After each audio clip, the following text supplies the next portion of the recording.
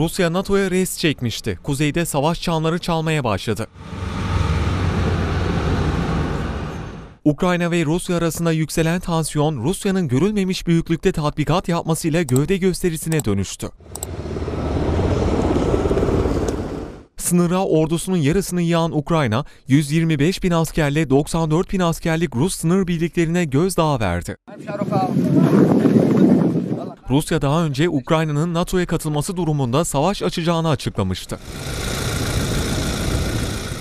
Sınıra 125 bin Ukraynalı asker yığılmasıyla Kremlin teyakkuza geçti. Rusya'nın güneyinde beklenmedik geniş çaplı askeri tatbikatlar başladı.